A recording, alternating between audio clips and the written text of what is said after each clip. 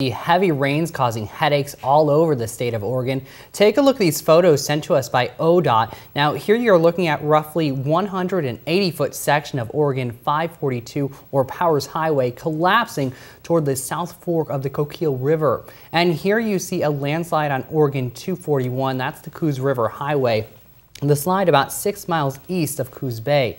Now, ODOT says while no highways are closed, some have been reduced to a single lane, so expect, expect brief delays. And for more information, you can visit tripcheck.com.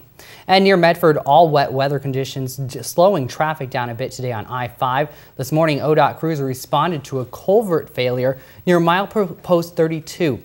Debris is being blamed for blocking part of the storm drainage system, causing it to uproot and detach. Crews narrowed the freeway down to one lane so crews could work on erosion issues.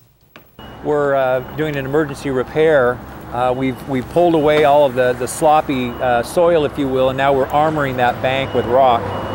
Now, crews are expected to be working on repairs for the next several days, and drivers are encouraged to use caution and slow down. And in Jacksonville, some residents waking up to a pretty watery mess this morning. These pictures are from the Jacksonville Fire Department. They, along with the Community Emergency Response Team, responded to two to three flooded homes. Volunteers and firefighters working hard together this morning, filling sandbags to try and keep the water away from houses.